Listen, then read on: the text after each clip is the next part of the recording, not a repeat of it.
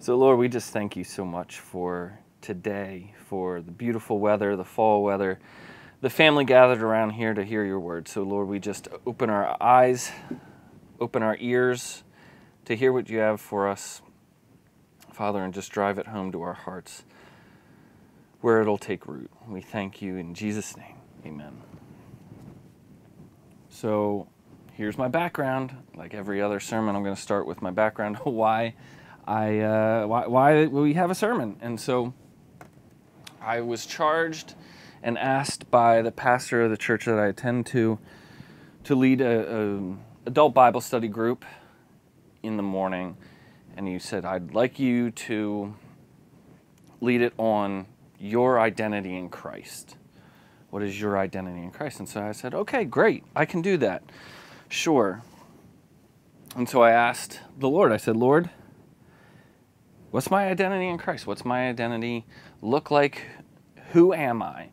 And then that had just been, so I think he asked me at the beginning of the month, and the lesson I was going to give is at the end of the month. And so I just started asking the Lord, Who am I? Who am I? Who am I? You know, who am I to you? Who am I to Christ? the Holy Spirit and all this. And so when you when and this this is a it's a very common like phrase passed around is like what is your identity in Christ? This is your identity in Christ. That is your identity in Christ.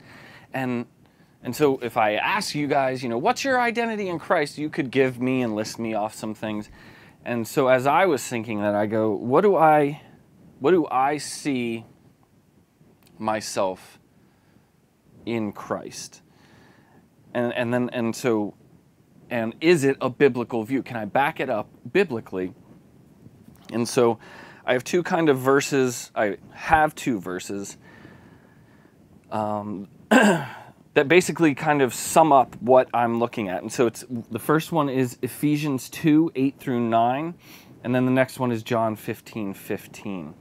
So Ephesians 2 8 through 9 say this for by grace you have been saved through faith, and that not of yourselves, it is a gift, it is the gift of God, not of works, lest anyone should boast. And so, my identity, that what I see myself in Christ, is I see myself as a sinner, as a sinner saved by grace.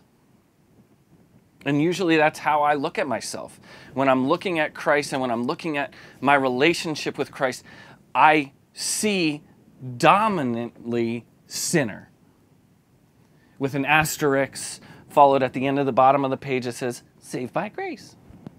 So I am predominantly just seeing myself at, in my identity as Christ as sinner. And, and so I go, ooh, that's, that's a tough, kind of pessimistic view of who I am in Christ. And so then the next one is John 15 15. And so these aren't very novel um, verses, and we've heard all these things, but but I'll get to it, and they they take a different turn for me as I was asking. So I'll start in verse 11, and it says, "These things I may have spoken to you, and this is Christ, that my joy may remain in you, and that your joy may be full."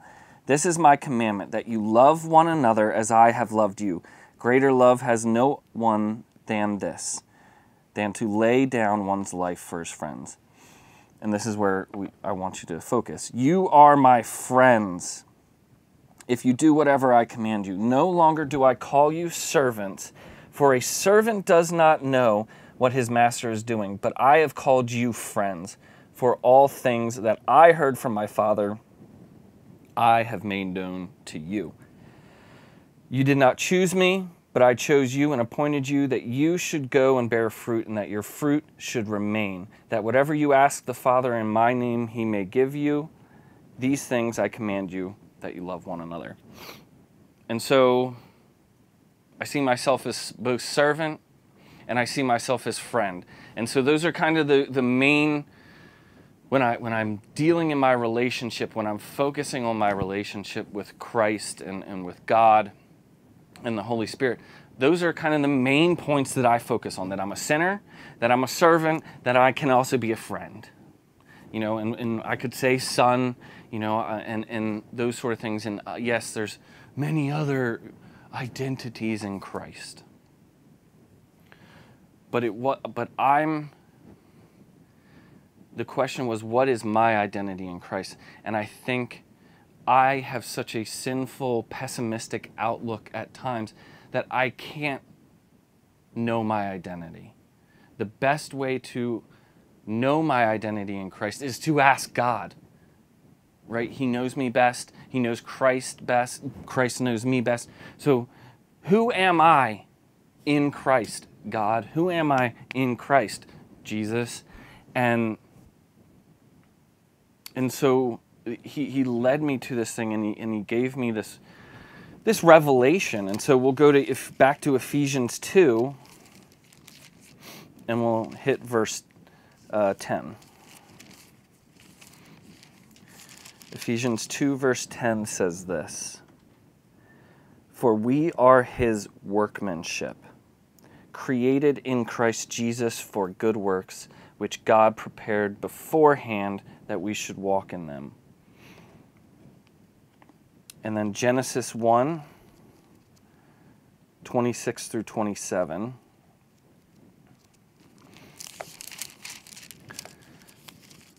Genesis 1, 26 through 27 says this Then God said, Let us make man in our image, according to our likeness. Let them have dominion over the fish of the sea, over the birds of the air, and over the cattle, over all the earth, and over every creeping thing that creeps on the earth. So God created man in his own image. In the image of God, he created him. Male and female, he created them.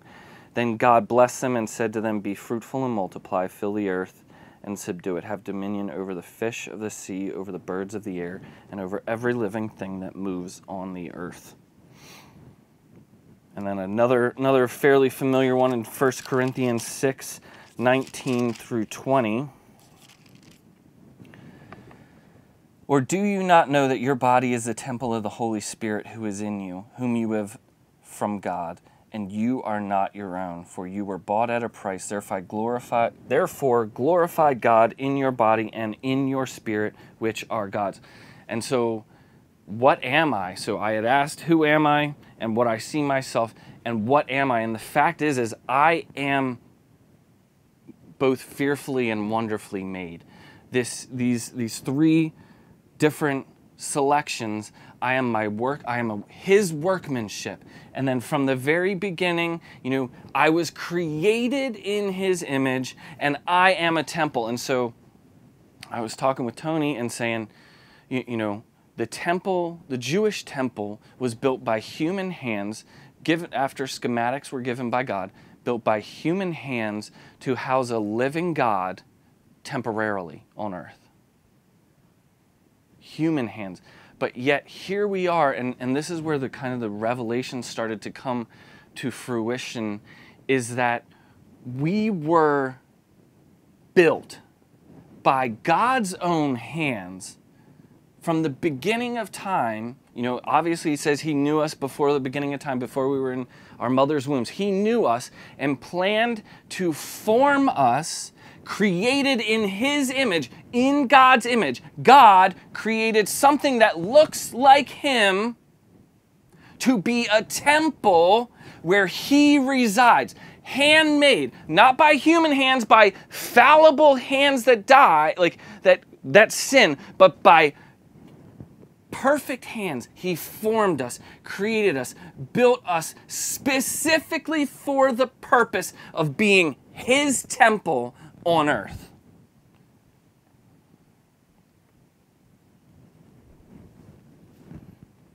So that just puts like a, a, light on who I am and just how how much purpose went into me. And so as I'm as I'm thinking about this, and, and that He created me, like perfectly molded me, my spirit, and wh- who I am to perfectly house Him and the Spirit. The Lord opened up the next few verses to say basically this that my identity in Christ is inseparable from Christ. Inseparable from Christ. If you, if you remember, I went back and I said, This is how I see myself. I see myself as a sinner, as a servant, as a friend. All those are by proxy around Christ, but they are not in Christ. They are separate from Christ. I am my own thing connected to Christ. But in these verses, and I'm going to show you, we can go to go to Galatians 20, or excuse me, Galatians 2, verse 20. And it says this. Galatians 2, verse 20 says this. For though for I through the law died to the law that I might live to God. I have been crucified with Christ. It is no longer I who live, but Christ lives in me. And the life which I now live in the flesh, I live by faith in the Son of God, who loved me and gave himself for me. It is Christ that lives in me. Christ lives in me. Obviously, I am the temple. He lives in me, He dwells in me. Romans 8, 9 through 10.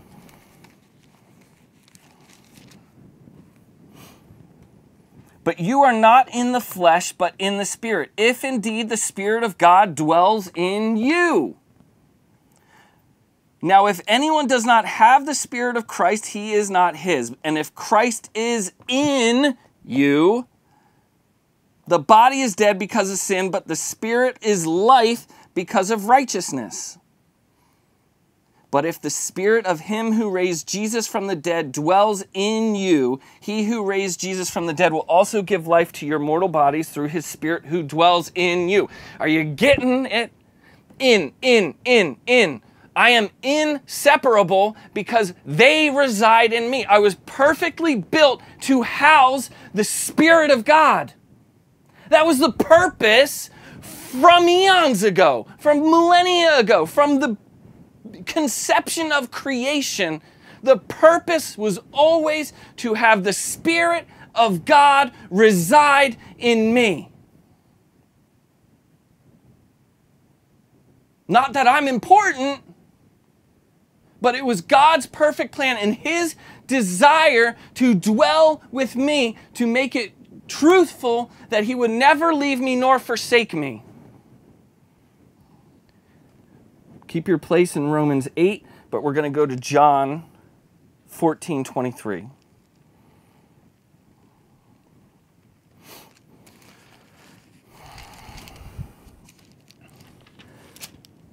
John 14, 23, Jesus answered and said to him, If anyone loves me, he will keep my word, and my Father will love him, and we will come to him and make our home with him.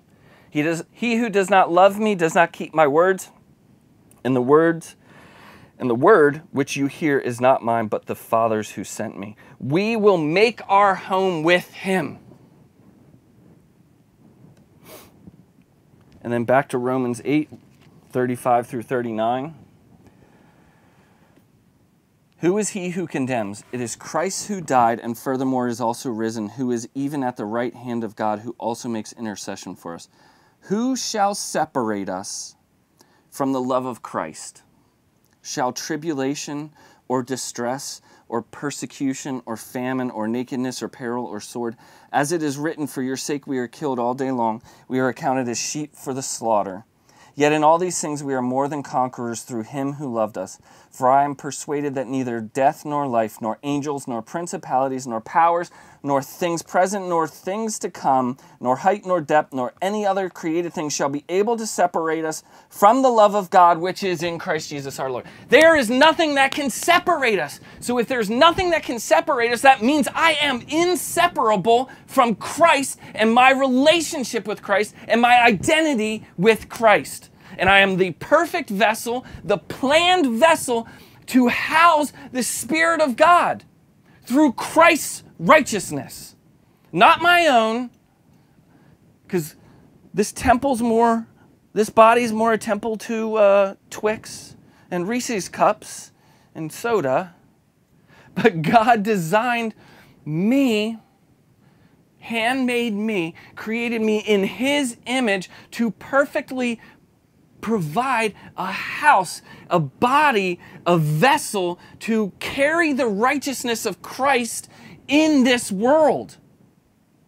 And because there is nothing that can separate us, I mean, in those three verses, four verses, that encompasses everything. There's no asterisk saying, oh, God says, oh crap, I forgot this. Let me add this. No, that basically encompasses everything.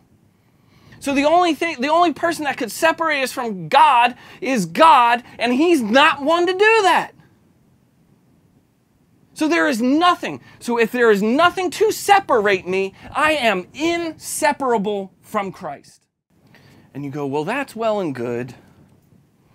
You know, and, and this, like I said, this isn't a novel idea, but it does bring to the forefront of my mind that I mistakenly, in my mentality of saying, this is who I am in Christ, didn't realize that the only identity I need to know about my identity in Christ is that I am inseparable from Him. It's not, oh, I'm a pastor in Christ or I'm an evangelist in Christ, a worshiper. No, I am in Christ, period. Christ is in me, period.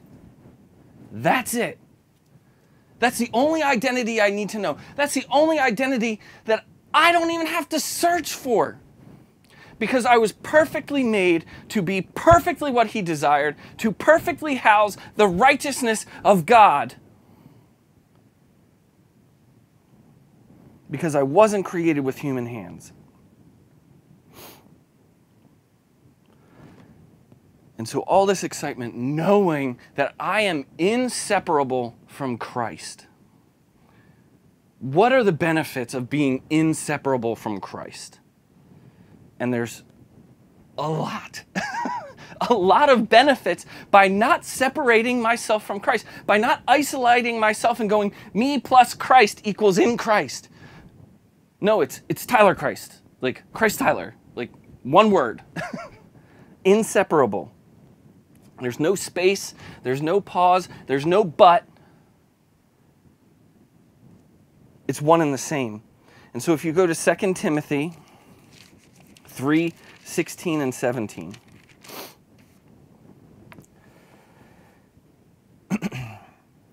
All scripture is given by inspiration of God and is profitable for doctrine, for reproof, for correction, for instruction in righteousness that the man of God may be complete, thoroughly equipped for every good work.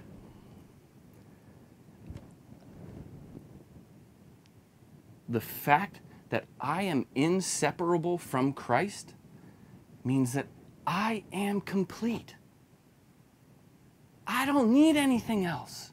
I don't need to go searching more for more Christ, for more Holy Spirit, for more God.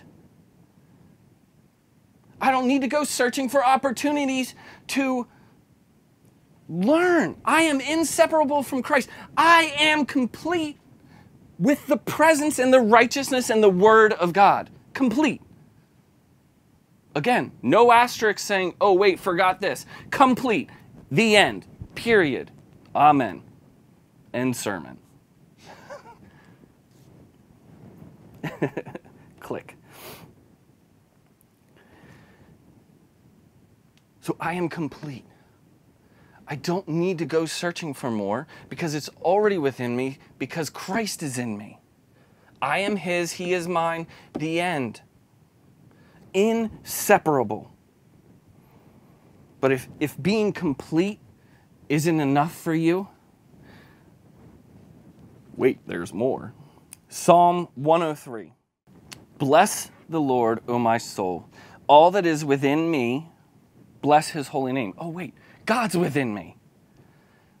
Bless the Lord, O my soul, and forget not all his benefits, who forgives all your iniquities, who heals all your diseases, who redeems your life from destruction, who crowns you with loving kindness and tender mercies, who satisfies your mouth with good things so that your youth is renewed like the eagles. The Lord executes righteousness and justice for all who are oppressed. He made known his ways to Moses, his acts to the children of Israel. The Lord is merciful, gracious, slow to anger, and abounding in mercy. He will always strive, he will not always strive with us, nor will he keep his anger forever. He has not dwelt with us according to our dealt with us according to our sins, nor punished us according to our iniquities. For as the heavens are high above the earth, so great is his mercy towards those who fear him. As far as the east is from the west, so far has he removed our transgressions from us. As a father pities his children, so the Lord pities those who fear him, for he knows our frame and he remembers that we are dust. As for man, his days are like grass, as a flower of the field, so he flourishes. For the wind passes over it, and it is gone, and its place remembers it no more. But the mercy of the Lord is from everlasting to everlasting on those who fear him, and his righteousness to children's children, to such as keep his commandment, covenant, and to those who remember his commandments to do them. The Lord has established his throne in heaven, and his kingdom rules over all. Bless the Lord, you his angels who excel in strength, who do his word, heeding the voice of his word. Bless the Lord, all you hosts, you ministers of his, who do his pleasure. Bless the Lord, all his works in the places of in all places of his dominion. Bless the Lord, O my soul. So just to recap, forgives all your iniquities heals all your diseases, redeems your life from destruction, crowns you with loving kindness, tender mercies, feeds you, restores your youth, executes righteousness and justice on your behalf, has makes his ways known, makes his acts known, is merciful, gracious, slow down anger, and abounding in mercy. Doesn't keep his anger from you forever. Doesn't deal with me according to my own sins or punish me according to my iniquities he has mercy towards me. He's moved my sins as far as the east is from the west. He pities me, remembers me. All these things are because I I get them immediately. I am complete because I am inseparable from him. I am inseparable from Christ. And so, all those things that David lists in Psalm 103 are the things that I have access to, that I am blessed with. There is no, oh, let me put, turn the key. They are immediately available to me, they are already happening to me because of Christ and that He dwells in me. I'm complete because I am inseparable from who Christ is and who God is.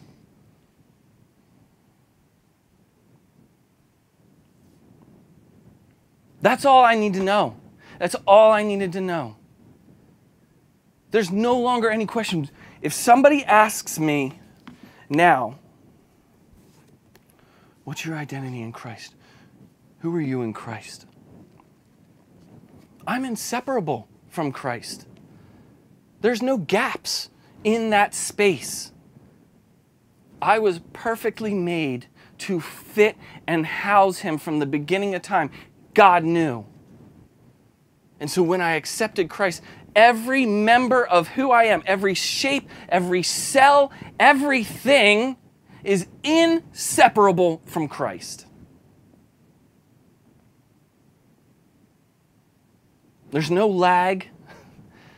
You know, I don't need better internet to connect faster to God because you can't connect faster when you are one.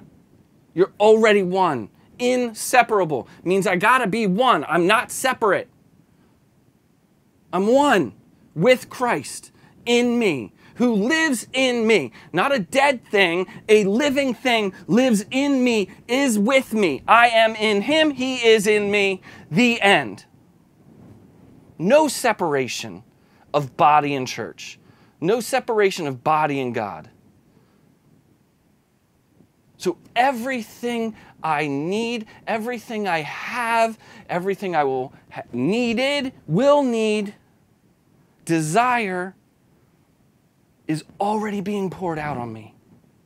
All the mercy I need is already coming. All the mercy, the grace, the strength, the courage, it is all already being poured out on me because it is manifest in the person of Christ who dwells within me and has now claimed me as his own and now makes me inseparable from God. And so as I learn this as I'm learning this lesson that I am inseparable from God, my, I was talking with my mom and she was just having a low day with this cancer and being sick with pneumonia and she goes, "I don't know. I don't feel God." Where is he? I used to feel him when he was so close when I was struggling with through the cancer treatments. But now that I have pneumonia and I'm just sitting on here, where is God? I don't feel him.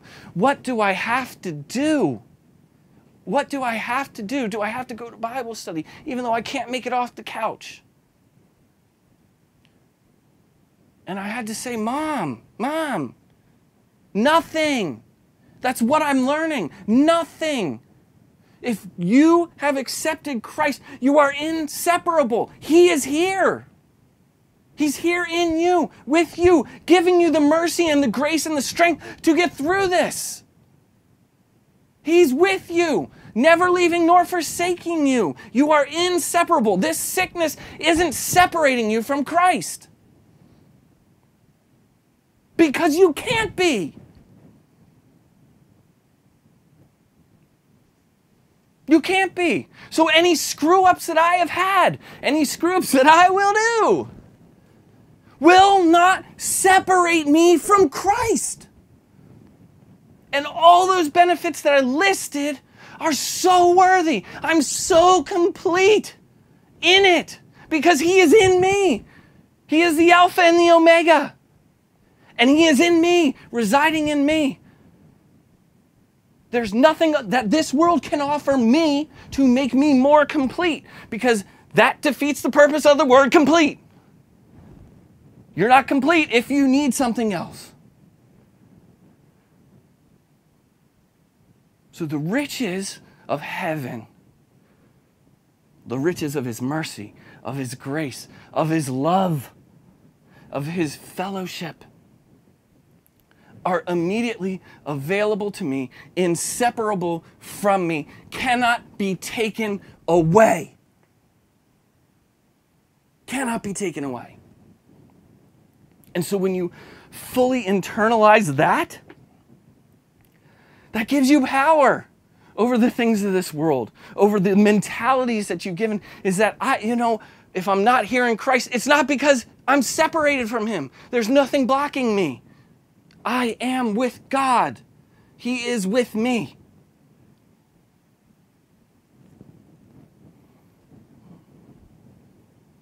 So, what is my identity in Christ? It's not what I can do. It's not what I can bring to the table or bring to the church or the talents or the relationships. It's none of that. My identity with Christ, your identity with Christ, if you have accepted Him, is inseparable from Christ. When God sees you, He sees Christ. Not you and Christ together, you are one, inseparable. He is inseparable from you.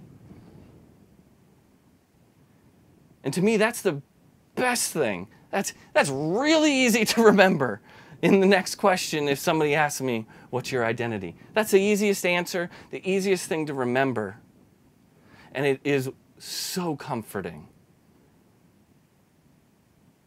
that I am a handmade vessel made to house the Spirit of God and to be inseparable. Because even though this spot where, where, the, where God resides, in this body, it can be destroyed. But not where the Spirit resides, because he, only God is the one that can destroy the Spirit. So I am inseparable from the creator of the universe. Made specifically to not be separable from Christ.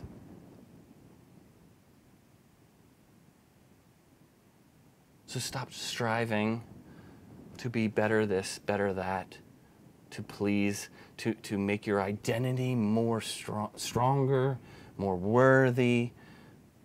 The fact is, you are inseparable. You are complete. The end. End sermon.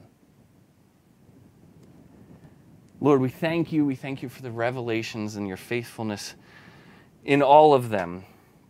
And I just thank you so much that I, as, as you were revealing it to me, I just saw your hands molding us, molding and shaping the human body to house you in a way that is inseparable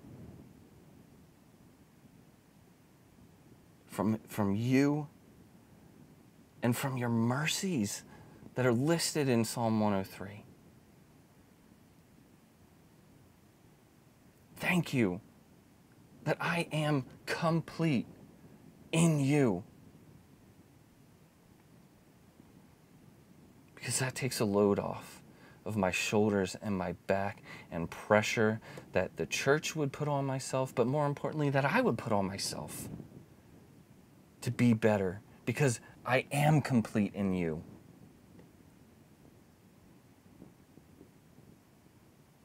So thank you.